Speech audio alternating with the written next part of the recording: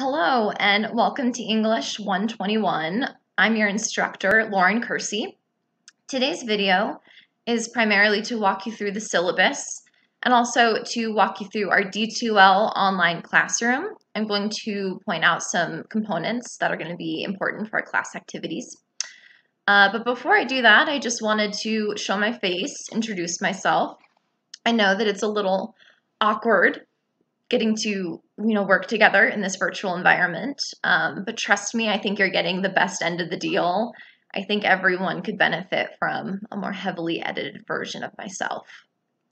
Um, so my experience i have my master's degree in english from st louis university. I studied writing rhetoric and communication.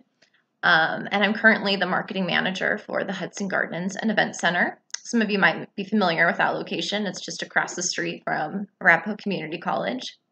So I've been engaging in in writing and conversation, communication. It's been the central focus of of my adult career. Um, doing that for years now.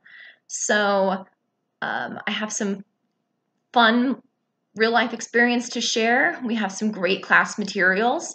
I think it's going to be all said and done a great semester and um, I look forward to going through this weird virtual experience with you.